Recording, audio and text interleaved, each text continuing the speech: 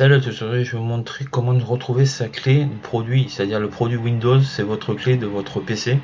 Comment la trouver? Alors c'est très simple, sur votre PC, vous allez sur euh, marquer CMD, CMD, voilà, mettez clic, clic droit, exécuter en tant qu'administrateur toujours, voilà, là on y va.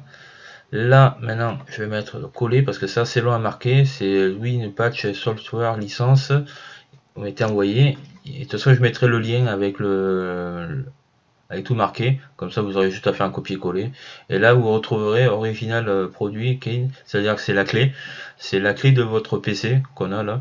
En fin de compte, euh, chaque clé a son propre, enfin chaque Windows a sa propre, euh, sa propre clé le produit. Par contre, on peut le retrouver souvent sur les factures, vous l'avez avec ou sur euh, derrière votre PC. Vous avez une petite étiquette où il y a marqué un code dessus, mais si jamais vous l'avez perdu ou vous savez pas ça, je vous conseille de le faire ça parce que c'est très important d'avoir le code de votre produit Windows toujours pour faire fonctionner euh, votre PC. Des fois, s'il y a un problème, s'il faut le réactiver, des choses comme ça. Voilà, c'était pour le montrer, cette petite astuce pour retrouver sur votre PC si vous n'arrivez pas à le retrouver, la clé. Sur ce coup, je vous dis à plus.